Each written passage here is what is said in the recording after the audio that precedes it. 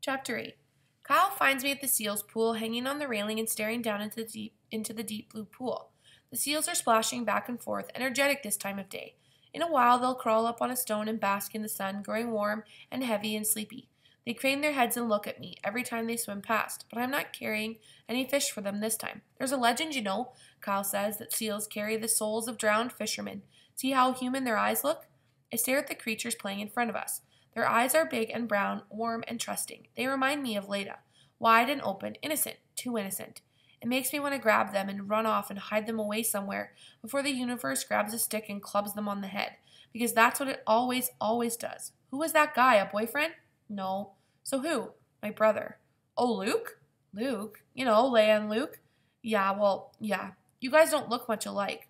We're twins, just like Princess Leia and Luke. Well, that explains it, he grins, and he's not Brian, and there's no wall of poisoned air, and for a second, the world shimmers into normal, and I want to grin too. Is he the one you're running away from, your brother? I push myself farther over the railing and stretch toward the water.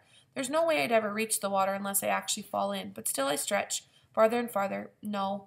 Who are you running away from? I don't know. A bad guy? Bad, I whisper to the seal straining out of the water toward me. The zoo seems smaller now, a tiny oasis in shark infested waters. I can't run away. I can't get away. I stand upright again and feel dizzy.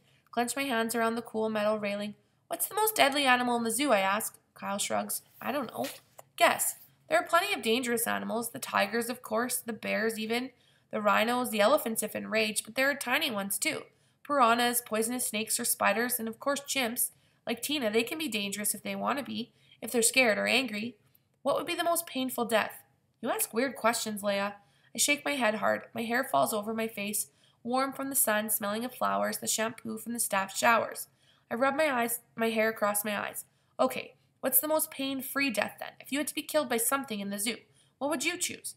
Kyle hooks his arms over the railing, thinking an interested look on his face. Well, not the snakes or spiders. The poison can be very painful. So is getting ripped apart by a tiger or a bear, I suppose, unless you go straight for the throat. I suppose that would be quick. Most of the time, anyway. I mean, they could decide to snack on your limbs first, and then dig into your liver, which would be less pain free, I suppose. What about constrictor snakes? You'd pass out, right? From the lack of oxygen. You'd just fall asleep. Get choked to death, get your ribs broken, and then get eaten in one bite, and your murderer will probably choke on you? Charming. Help me out here. What should we planning, a suicide or a murder? If you want to kill someone by throwing them into an animal cage, what cage would you choose?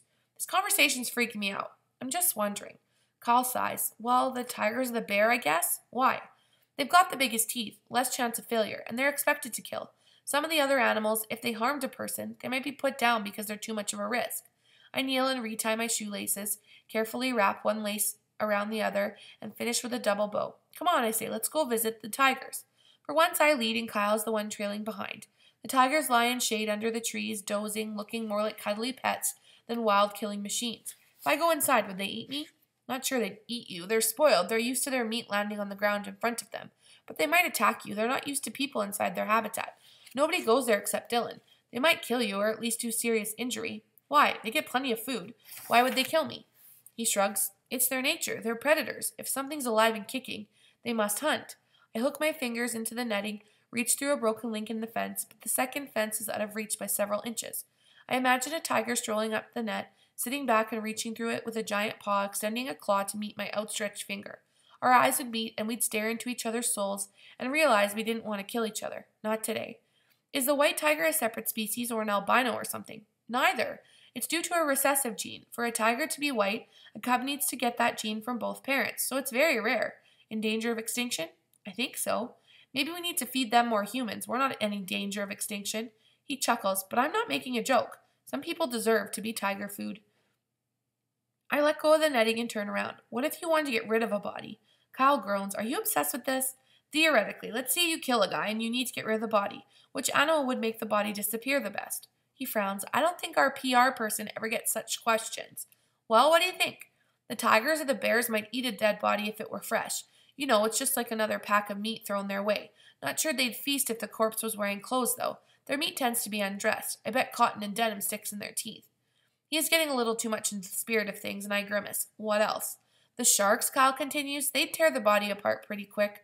There'd be bone fragments all over their tank, though, and blood, and I don't know how quickly blood washes out of their water. Okay, anything else? Kyle snaps his fingers. I know, the piranhas. They would strip the body of flesh, but they leave the skeleton. People would assume the skeleton was there for show, so you might get away with it. That'd be pretty cool, actually, hiding the body in plain, plain sight where hundreds of people look at its skeleton every day. The piranhas, I say slowly. I love it. I stare in the direction of the aquarium and can see it play out on the movie screen in my head. The skeleton forever on display, the empty orbs of the skull staring in desperation at the people passing by, jaws open in a never ending cry for help, crabs scuttling over outstretched finger bones waiting for a rescue that never comes. Forever, I whisper. Perfect. Kyle coughs. What are you talking about? Who do you plan to kill? The crazy fantasy is squashed like a soap bubble under Tina's heavy hand. No one, I say, my shoulders slumping. No one at all.